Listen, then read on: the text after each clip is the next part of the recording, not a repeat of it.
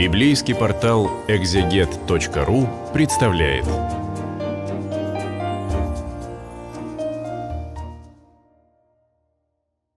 Здравствуйте. Это видео для библейского портала экзегет.ру. Мы поговорим сейчас о 47 главе книги пророка Иеремии.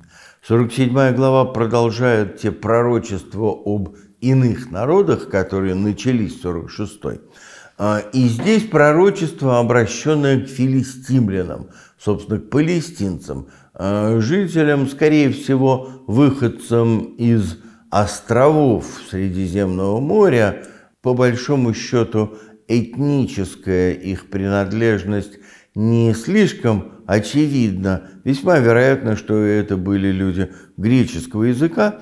Но вот к этим людям обращается Бог э, в те же самые времена, когда Иерусалим разрушен и э, караваны пленных уведены в Вавилон. Другие иудеи бегут в Египет – в это время войска Навуходоносора наступают с севера через Палестину на Еги... через Израиль на Египет, и Палестина здесь же по дороге. Вот Господь говорит, как воды поднимаются с севера и потопят землю, и все, что наполняет ее.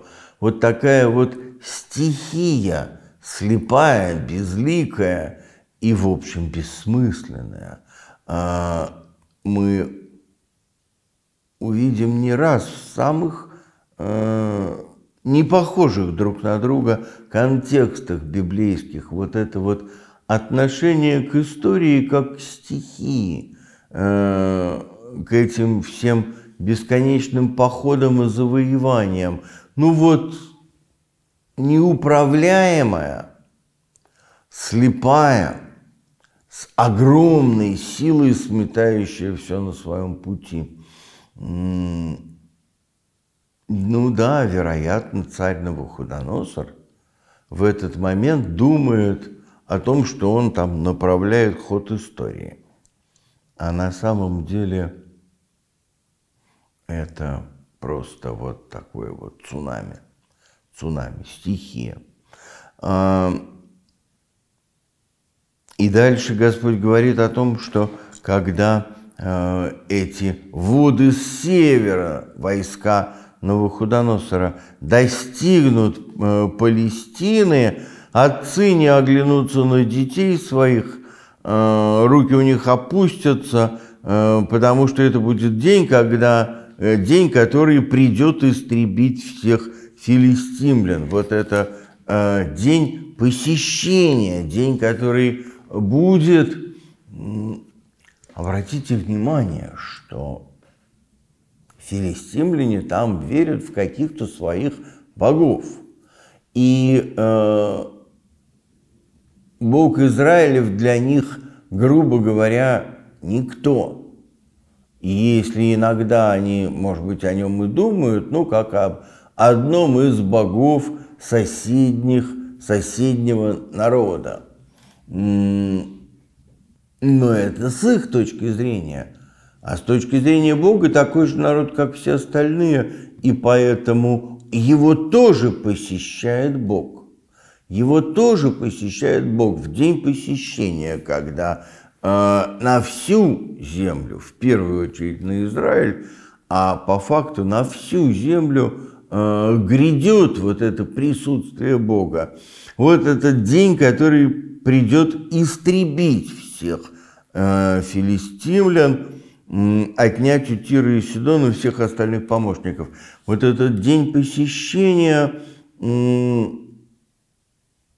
день гибели э, даже для людей, которые не думают о Боге, просто потому, что Бог-то настоящий их палестинские, все остальные боги, это все выдумки, идолы, а Бог настоящий, Он один. И поэтому ты никуда от Него не скроешься, даже если ты не хочешь Его чтить.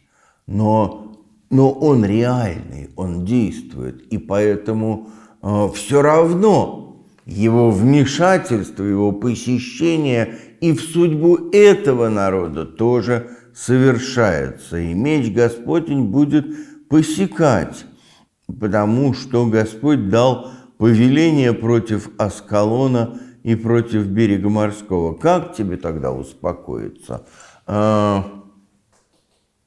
Что ты будешь делать, если Бог реальный? И его действие, так сказать, руками Вавилонян, вот эта вся стихия э, мировой войны, это реальность, от нее никуда не денешься. Все равно тебя посетит день посещения. Единственное, э, что можно, что возможно сделать это, принять сознательно, как Израиль, чего, впрочем, Израиль тоже не хочет. Но, тем не менее, вот что Богу все эти народы? Почему и для них тоже это становится катастрофой? Нельзя сказать, чтобы здесь у Иеремии был ответ на этот вопрос.